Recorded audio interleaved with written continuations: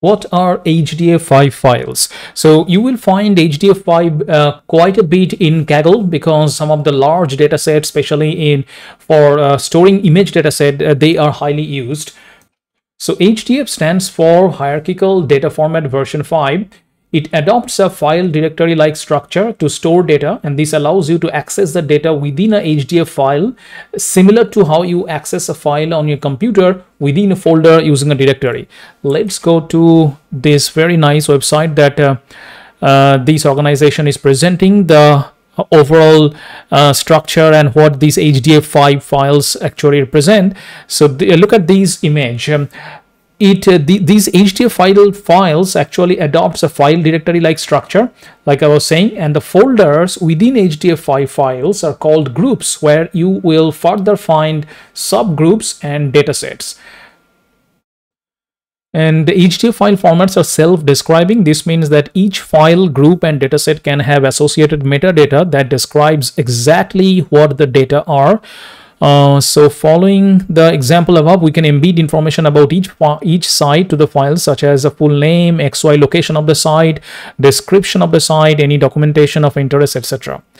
So yeah, anyway, so and uh, about the compression and efficient efficient subsetting, uh, the HDF file format is a compressed format, and that's why it is so much popular to save large data set. The size of the data contained within HDF file is optimized, which makes the overall file size smaller even when compressed. However, HDF file files often contains big data and can can thus be can thus still be quite large. A powerful attribute of HDF5 is data slicing, by which a particular subset of data set can be extracted for processing.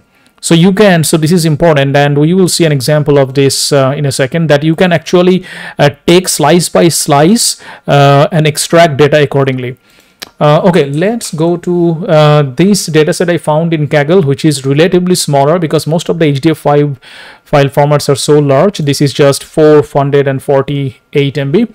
And so I quickly make a made a notebook and in Python, there's a beautiful package, this h5py. You need to first install it, and this will help you reading HDF5 uh, files.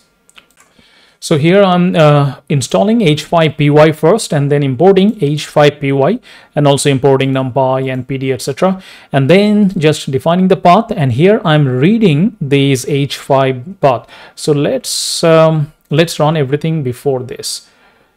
Run run before oh sorry I don't need to run the first cell mm, because that will take a couple of minutes of time run before so after uh, loading the file, I am reading the keys from the first level by f.keys and from the output you can see when you run this, you'll get this output. And uh, from this you can see that um, the first group level only contains this list format with a string. You can further read this. Uh, this is the first group, so I'm naming it group 1 and you can read this uh, by doing f ftable and run it. And it will give you just the string and that's why it's saying one member here. And of course uh, this will be different for different datasets uh, for this particular dataset that i'm reading here that is uh, it's an mx hd5 latest statement train only. For this dataset this is the structure i have. Uh, sometime at this level you have two members three members five members whatever. And then i am even reading further uh, group one dot keys. And here i am getting uh, keys view hdf5 column. So this is again just one member. Now let's dive in further.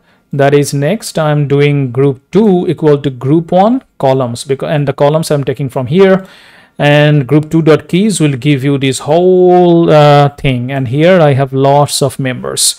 You can drill down further uh, by doing something like that h1 group b1 because I'm reading these b1 here and when you print that you will I'm getting the stable column B1 so the the idea is that um, I am going uh, deeper down by moving through the groups subgroups and so on and thereby extracting the information at, from the corresponding group.